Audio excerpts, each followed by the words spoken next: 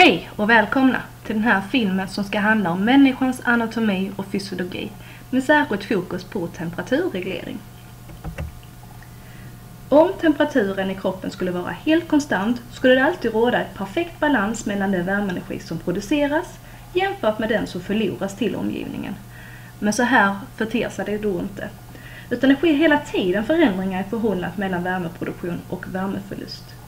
Och i den här filmen tänkte jag fördjupa mig i de här processerna där man producerar respektive förlorar energi eller gör av med energi för att reglera temperaturen i kroppen. Vi kan ju börja med den process som kallas för värmeproduktion och det är när kroppen producerar värme på flera olika sätt. Ehm, om man ska titta på ett vardagligt exempel så vet ju alla att om man är ute och rör på sig, man springer, går, lyfter tungt, så kan man då bli väldigt varm. Och detta är ju ett aktivt muskelarbete. Om man tittar på den energi som tillförs vid ett muskelarbete så är det cirka 20% bara som går direkt till själva arbetet. Resten, 80%, blir till värme. Och så detta är en väldigt eh, energikrävande process men den behövs och mycket värme kommer som spill och det är det här som också kan få upp värmen i kroppen. Eh, men det är inte bara när man är i rörelse man behöver producera värme. Det kan även vara när kroppen är i vila. Och då gör den här kroppen det här via en process som kallas för shivering.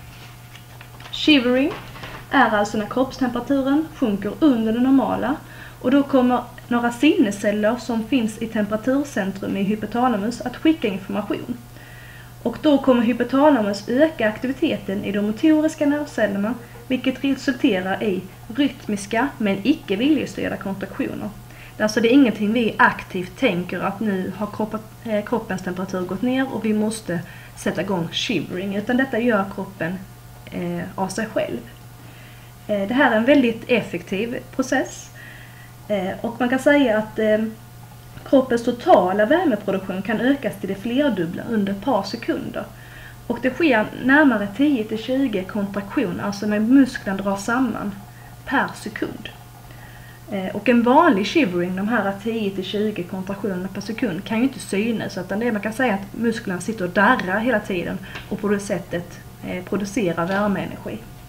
Men eh, när man fryser så kan man ibland börja huttra utan att man själv egentligen styr huttrandet. Och det är en kraftig shivering. Och det gör man också på samma sätt. Och det är för att musklerna då ska börja arbeta och på det sättet att producera värmeenergi. De här processerna, muskelarbete och shivering, är alltså de två vanligaste sätten för kroppen att producera värme. Det är inte alltid kroppen behöver producera värme, det kan faktiskt vara tvärtom, att kroppen är för varm och därför måste man göra en värmeförlust, alltså göra sig av med värme. Och det kan man göra genom flera olika fysiologiska processer. Jag tänkte ta upp fyra stycken här. Vi kan börja med den första. Värmestrålning.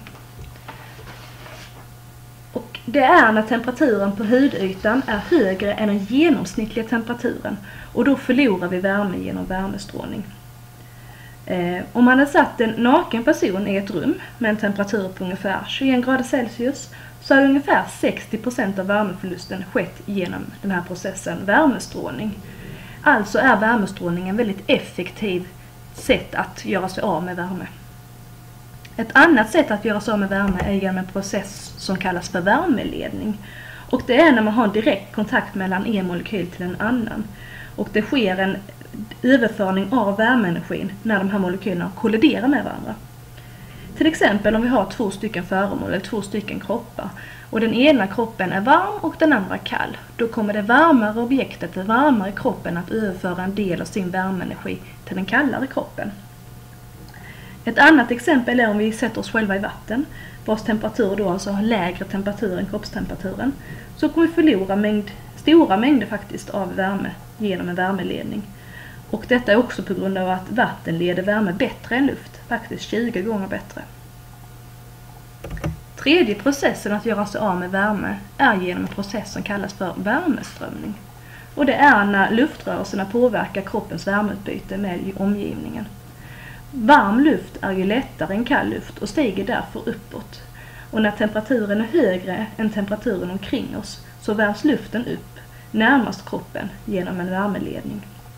Och luften stiger och rasar bort från kroppen och den uppvärmda luften ersätts av svalare luft. Man kallar detta för en värmeströmning då. Ett vardagsexempel på det här kan vara till exempel att man upplever att det är kallare när det blåser än när det är vindstilla. Och det har att göra med att den här värmeströmningen också, att den varma luften som finns runt omkring kroppen blåses bort helt enkelt. Och då har vi en värmeströmning. Den varma luften byts ut mot lite svalare luft. Den fjärde och sista typen av värmeförlust som jag tänkte ta upp är en process som kallas för avdunstning. Och avdunstning sker från eh, hudytan framförallt. Och detta har att göra med att huden inte är vattentät. Utan när vi inte svettas så diffunderar vattenmolekylerna till hudytan där de avdunstar.